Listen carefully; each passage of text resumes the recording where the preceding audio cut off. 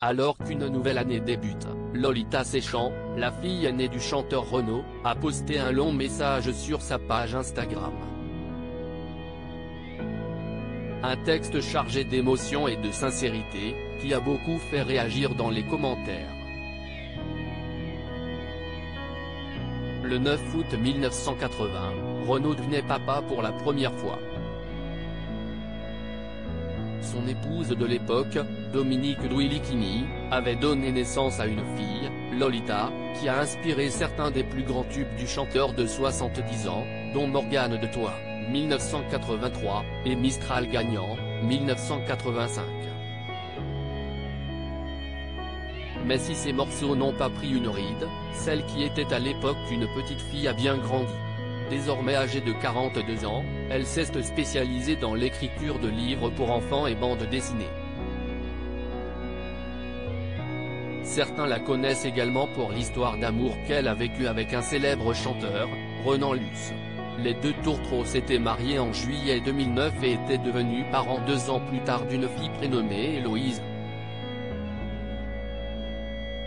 Malheureusement, cette belle histoire n'a pas résisté à l'usure du temps et en 2016, ils se sont séparés.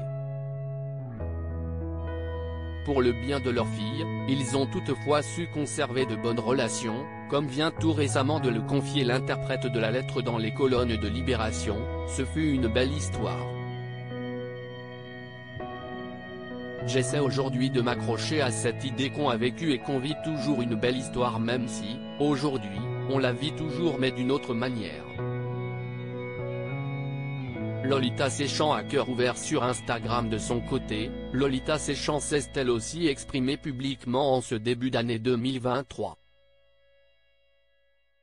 Sur Instagram, elle s'est fendue d'un très long message dans lequel elle résume son état d'esprit. Un texte qui a beaucoup fait réagir dans les commentaires, tant en raison de sa sincérité que de sa mélancolie.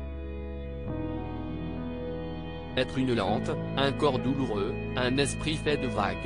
Choisir un métier lent, laborieux, qui fait mal au dos, aux mains, au cou aux yeux.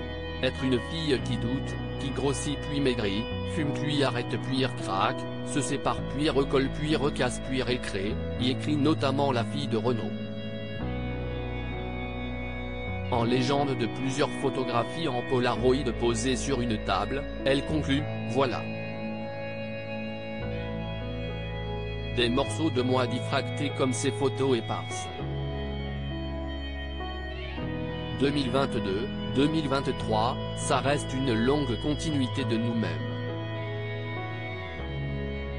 Je vous embrasse en espérant le moins possible vous faire ressentir de tristesse. Il n'est ne fallait pas plus pour émouvoir les internautes, touchés par la jolie plume de Lolita Séchant. Cliquez ici pour découvrir la publication de Lolita Séchant.